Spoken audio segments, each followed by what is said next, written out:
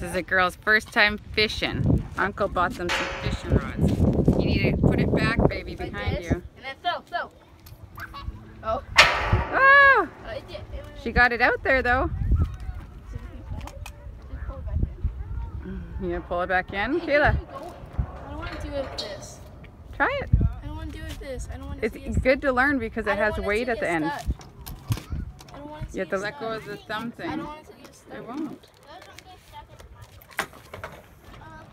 Oh, she did it! Good girl! Now you let it stay out there. You gonna get a worm? Kayla, you do you know how much time it it back in? takes to uh, get a fish, honey? It's not right away. So this one floats. You need something that doesn't float, right? Doesn't it go underwater? Kenzie, isn't it supposed to go underwater?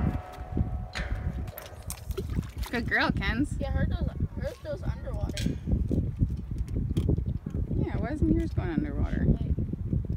There's fish there. Is there fish there? There's fish there. There is fish there. Let's try the worms.